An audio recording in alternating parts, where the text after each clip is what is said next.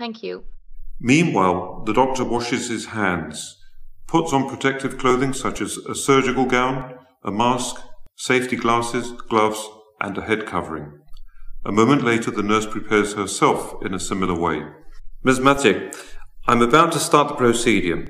First, I will administer IV analgesic so that you can feel no pain. We'll wait a few minutes for the medicine to start to work. Then I'll insert a puncture needle to the intercostal space to take a fluid sample from your pleura.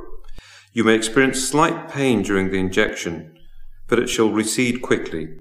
Please do not move and refrain from coughing to avoid contraction of the muscles of the abdominal press. Do you follow me, Miss Magic? Well, yes.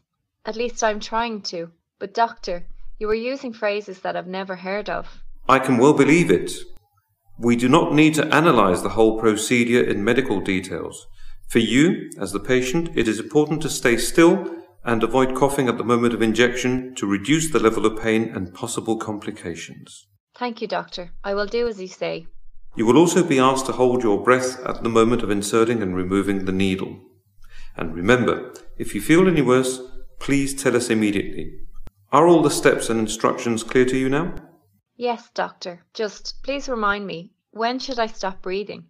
Right as the needle is inserted into the pleural space. The nurse will tell you when.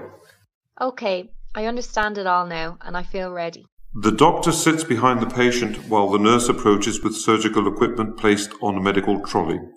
She assists the doctor by handing over sterile medical equipment according to the procedural steps, whilst at the same time watching the asepsis rules.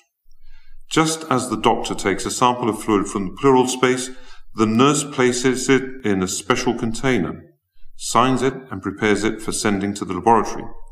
When the needle has been removed, the nurse covers the puncture site with an antiseptic dressing.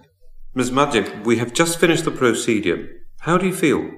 Well, I didn't feel any discomfort. I guess I'm fine. Thank you. The nurse will help you to get dressed and return to your bed. If you feel any irritation or soreness in the area, don't hesitate to contact the nurses on duty. Okay, Doctor. Thank you so much for your care.